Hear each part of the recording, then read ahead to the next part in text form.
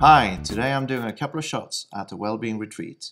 I brought with me a minimalistic setup and working solely on natural light. I used the Alpa Max technical body in combination with Leaf Credo 60 high resolution back. I also brought with me two of my favorite Schneider lenses, the 35XL and the 120M. All in all, a brilliant combination. Let's get to work.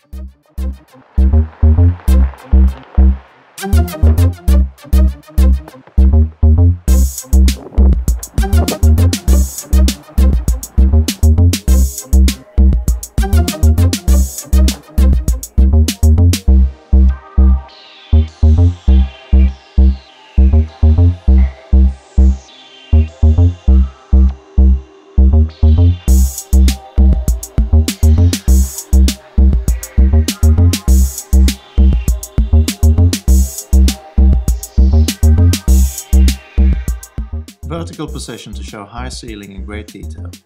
Using only ambient light I'm forced to blend two exposures to retrieve all the details in the dark ceiling and not completely burn the windows.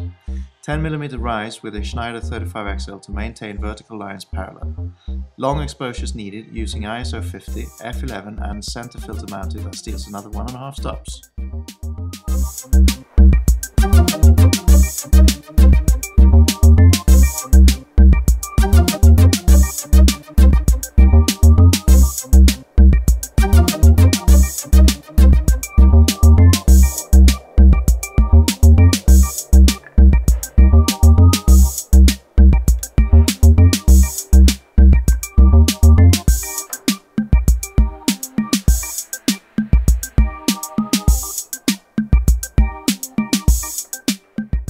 Change of lens to the 120 for a more compressed perspective. Careful composition with ambiance as key. One exposure with only 3mm rise, f5.6 with a shutter speed of 1 8th of a second at ISO 50.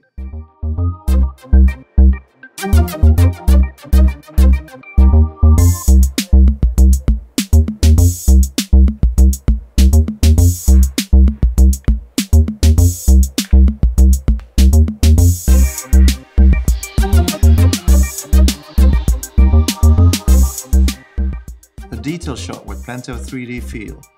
The Schneider 120 is razor sharp wide open and with a large Credo 60 sensor gives me plenty of focus control where I may choose freely of how much or indeed how little I want to be in focus in the photographs. Now let's go outside.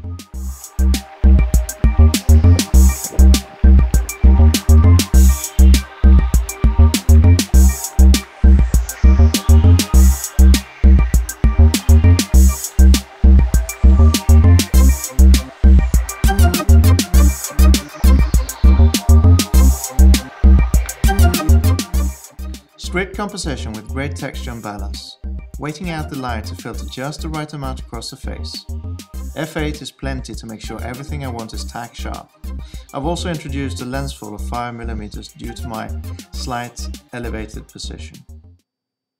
Now, Leaf Credo 60, the Alpa 12 camera system and Schneider symmetrical digital lenses.